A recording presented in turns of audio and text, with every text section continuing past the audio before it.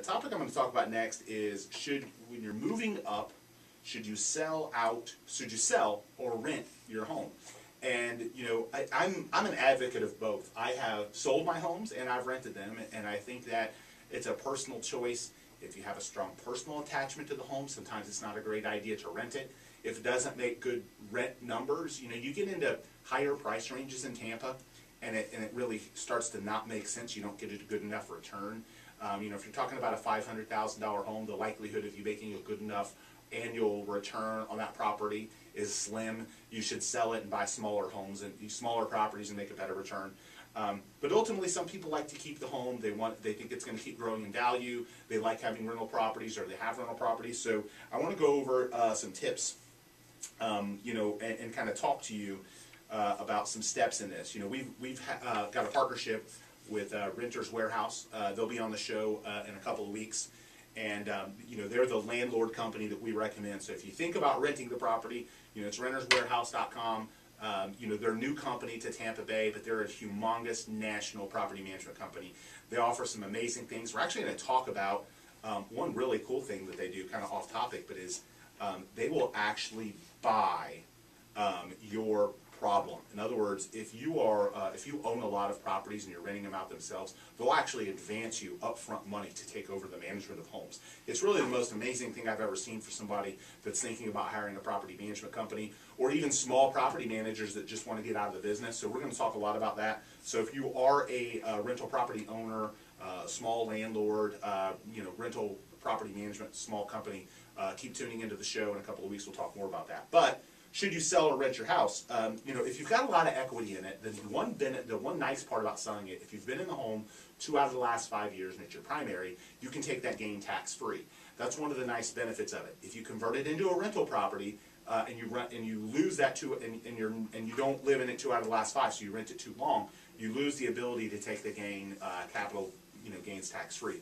And again, we're not accountants. Every person's, uh, what's a homestead property is different for everybody, but that's kind of a general rule of thumb. If you own a property uh, and you resided in your homestead two out of the last five, you get to take the gain, you know, capital gains free. You convert it to a rental and you keep it as a rental too long, when you go to sell it, you're going to pay gains on that money. So that's one of the benefits of selling it. Um, you know, the other benefit of selling it is not having to deal with being a landlord, not having to deal with the risk, you know, if, if, it, if the payment's missed, um, you know, um, you know, I, think also that the hassles of being a landlord sometimes are underestimated. It's not something people want to do. They don't want another job. They work Monday through Friday, and they kind of want to enjoy some time off. When you start becoming a landlord, you're basically giving yourself another another job.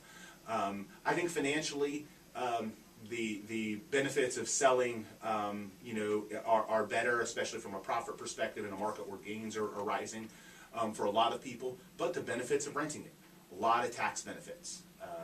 You know, some of those tax benefits may be going away. Uh, there's a lot of debate right now over what's going to happen. Um, th there are also, um, you know, benefits of the, the return that you can get. Um, I think that's a, to me, that's a big determiner for whether or not you keep it as a rental. Is what kind of return can it get? Um, is it is it five percent? You know, six percent? The, the bigger it is, you know, if you're talking a 10, 12 percent return, you may not be able to beat that in the market or with any kind of guarantee fund. With the tax benefits, maybe you do keep it as a rental the more the higher the price it is, the harder it is to keep as a rental. Um, you know, so the the other thing that comes into play though, um, appreciation. I've seen a lot of people keep rental properties based on appreciation, and that's a risk.